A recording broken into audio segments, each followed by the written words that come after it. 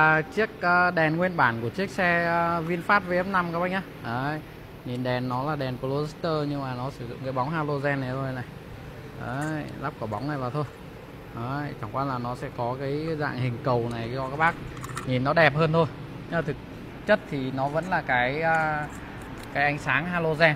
Đấy, đèn halogen khi mà sử dụng thì nó không được uh, tốt cho lắm khi mà mình đi đêm. Đấy còn đây là bên em đã lên một cái bộ uh, bi led x-line v20 rồi. Đó, các bác có thể nhìn thấy là cái khi mà chỉ cần tháo cái bi cũ ra nhé lắp bi nguyên bản mà đấy, vẫn như zin luôn này đúng không ạ? Và đây là ánh sáng của nó thực tế của nó này. Các bác có thể thấy nó sẽ cái ánh sáng trắng ngả vàng một xíu này.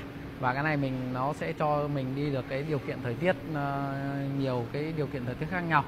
Ví dụ là sương mù nhẹ hoặc là mưa nhẹ các bác vẫn đi được và cái cho cái hệ số bám đường nó tốt hơn. Đấy và cái này thì cái dòng này thì cái mặt uh, cốt của nó ấy, cái dòng cốt của nó thì nó cho, cho ánh sáng ờ, đậm và mịn hơn. Đấy. Còn đây là ánh sáng pha nha các bác nhá. Đấy khi các bác lên pha này. Đấy lên pha này nó trụm tâm này đúng không ạ? Trụm tâm pha và các bác cái tầm quan sát của mình với đi tốc độ giải tốc độ cao nó sẽ tốt hơn này đảm bảo an toàn cho mình này.